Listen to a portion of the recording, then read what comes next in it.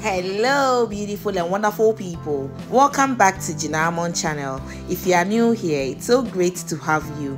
Please don't forget to follow my page and subscribe to my channel as well. In today's video, I'll share with you how to make beef curry. This turned out so so delicious, it's yummicious and it's originated from India. It's so so delicious. Let's get started. In the saucepan, add in olive oil followed by chopped or sliced onion and then added in crushed garlic.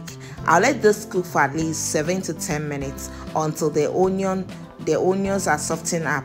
So let it cook for um, from 7 to 10 minutes. It should be something like this very soft something like this when done. After i'll go ahead and add in my beef vegetable seasoning and salt. I'll let this cook for at least 10 minutes for me to check if the salt is for my liking everything is on point before moving to the next step.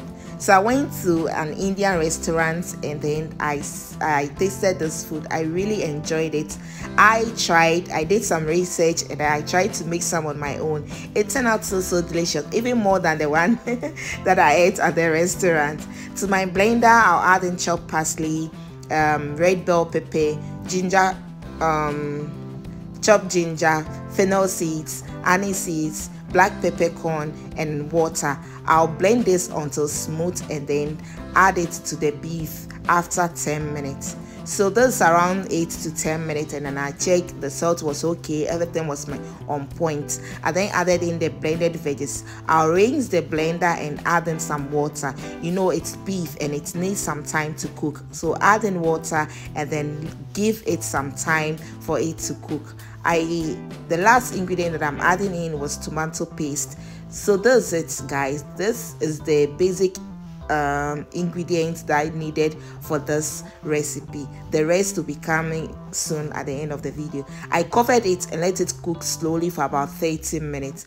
After 30 minutes, I open it to check if everything is going well, if everything is on point. So I give it a quick stir and then I'll cover it halfway through and let it cook for at least 20 minutes more let it cook slowly and then if you covered it um, fully the vapor could come could go back to turn into liquid and go back to the sauce so make sure you cover it halfway through and then let it cook.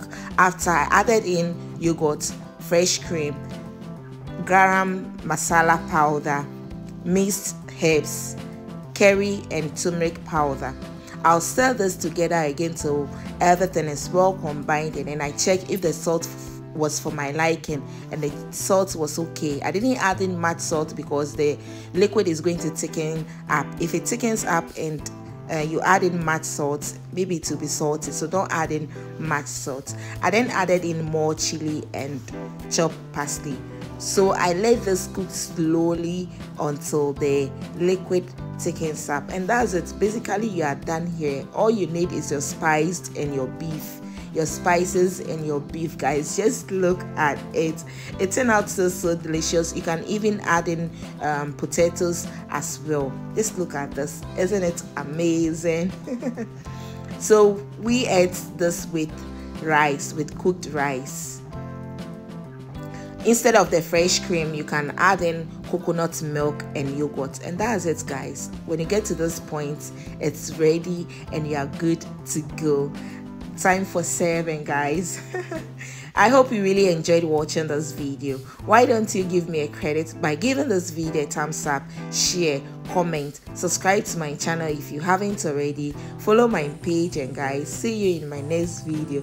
If you don't understand anything you can send me a question or ask me a comment a question in the comment section. See you. Stay blessed. Bye bye